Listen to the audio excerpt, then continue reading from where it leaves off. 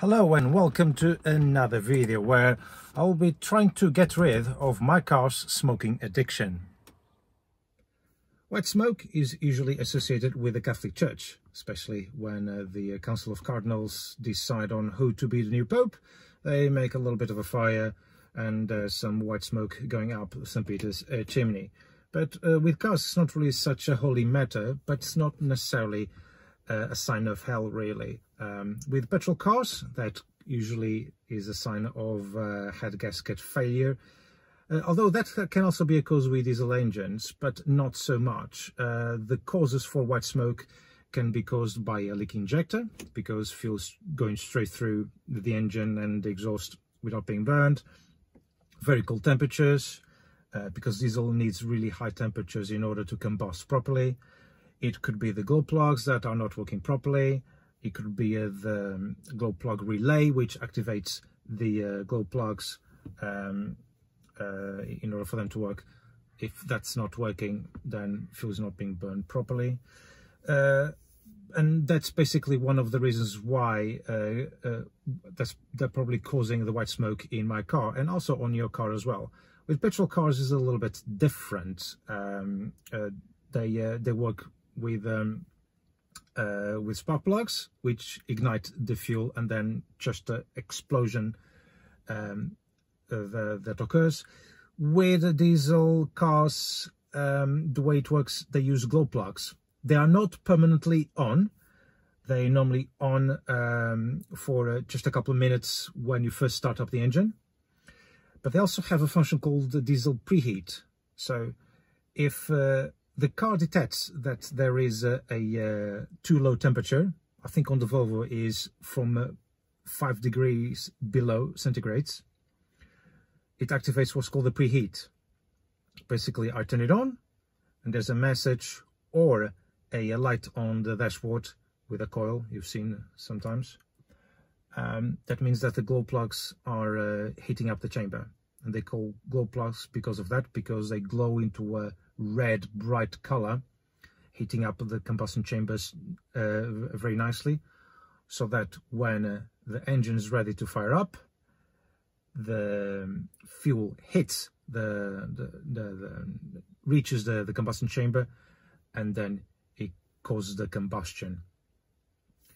If the uh, combustion chamber is not hot enough there will be unburnt fuel and in consequence it will create uh, white smoke in most cases, especially when the engine is cold. If there is, uh, the, the, causes for black smoke, for example, can be many others. Uh, black smoke is also fuel when the engine is nice and hot and there is excess fuel uh, that is not being burned, but some of it is being burned, burned and that usually causes black smoke. But this is the problem that I've got in my car. It's white smoke on very cold mornings. Because once I start to drive the car after a few minutes there's no white smoke anymore. It's gone completely. And also if uh, it's a slight mild morning for example like it was in the last couple of days um, it didn't create any uh, white smoke at all. And uh, that's the occasion where the, it didn't use the diesel preheat. So if it's very cold mornings the diesel engines do have that uh, uh, function which which is called the preheat and then they keep warm for a while until the engine reaches a certain operating temperature.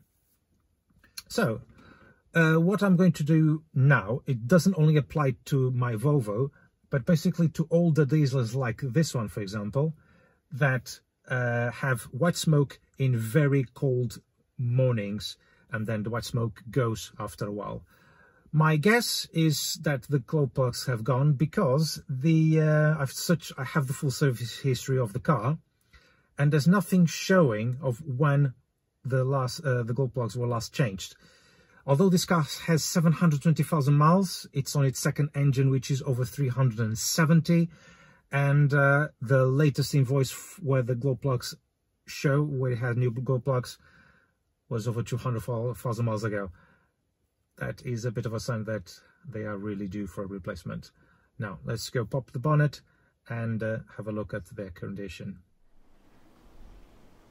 So here are the glow plugs that I'm going to use five of them because this is a five-cylinder car.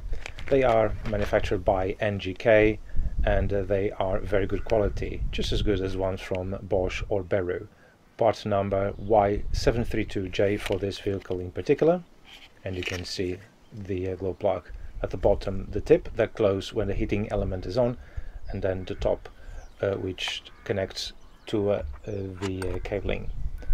To insert and remove I'm going to use this deep socket number 10 with a universal joint on top which is very useful for hard to reach areas.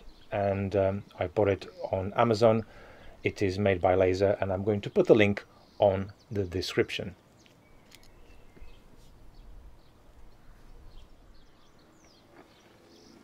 Now it is time for me to disconnect the cabling from the glow plugs. In this car it is a little bit tricky because some of the plastic casing has started to uh, uh, crack.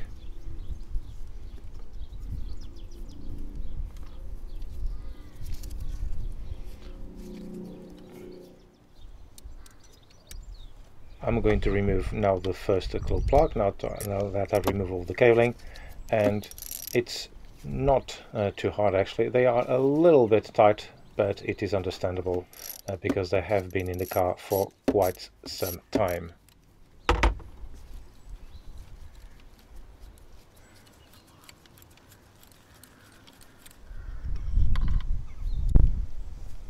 And this is the condition of the first one. You can see that at the bottom uh, it is actually quite rusty, which is the part that stays exposed to the elements. It we can see that they have been here for a very long time but not many carbon deposits on the glow plug tip.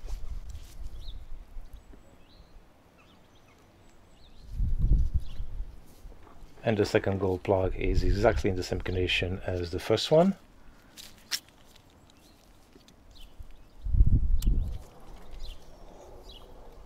And the third one, we already see some carbon deposits on the glow plug tip which indicates that this could be the failing one.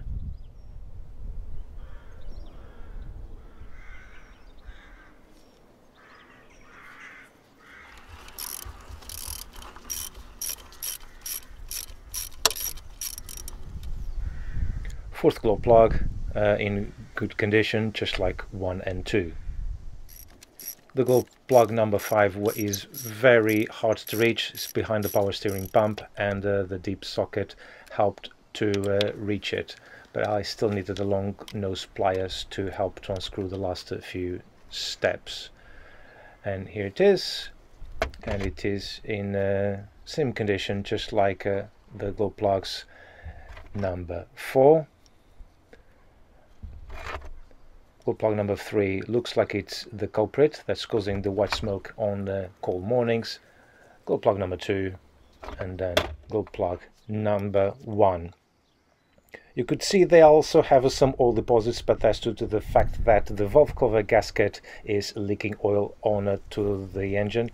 And you can see the top of the glow plugs are very rusty. It means that they have been exposed to the elements for a very long time. They, they look like have over 200,000 miles uh, uh, life in the engine. The deep socket within a universal joint has been very useful. You can see here that the glow plug sits right behind the uh, power uh, steering pump and um, and the way I tighten them is just basically finger tight and then about 25 newton meters of torque. Is indeed one of the most useful tools I've bought, the uh, deep socket with the top universal joint. Now it's time to uh, connect all the cabling back in, make sure all uh, clicks in place nicely so that there are no loose connections.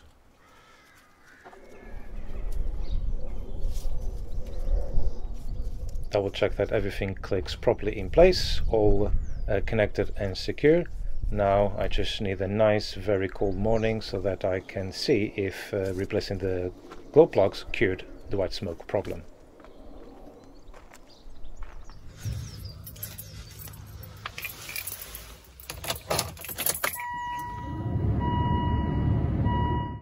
Perfect conditions to test this, diesel preheat and 5 degrees.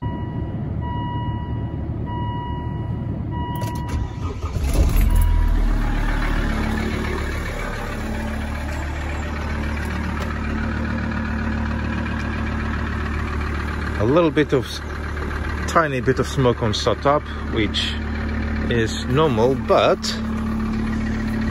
no more white smoke. As you can see it is five degrees today air temperature which means that the uh, diesel preheat had to work.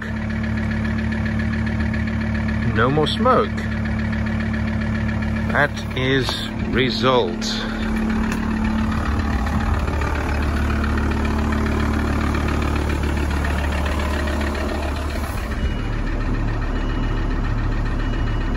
the engine management and light is on, but I knew about that. And there you go, problem solved. Uh, uh, I'm recording this uh, a couple of weeks after I have made uh, the replacement of uh, the um, glow plugs and uh, there has been quite a few cold mornings and I never had a, a, white smoke ever. There's a very, very, very tiny puff of smoke, very a tiny little bit, but that is very common on diesels anyway but it's something that dissipates extremely quickly, just and then goes, and nothing. Uh, it's it's almost insignificant, really, but no more white smoke uh, anymore. And the engine does seem to run a little bit better, uh, not because the um, uh, all the glow plugs are, are, working, but also it's probably clearing some of the soot of unburned fuel that probably just carbonized inside the combustion chamber. So uh, the fix that I've done for this car was good for mine one. It can also be a cue for yours, but always do a double check. I did, I did this on my car because I knew the glow plugs haven't been changed for a very long time and that was my very first port of call. Also, it was actually a very cheap fix anyway. So that's it. And uh, thank you very much for watching. If you would like to please like, subscribe, and please do comment. I would like to hear your feedback. I welcome any feedback positive or negative. Uh, uh, it doesn't matter. Uh, I'm not a professional, as you know. And it's always good to know what are, what people think of what I do. So thank you very much once again for watching and I'll see you on next video. Take care.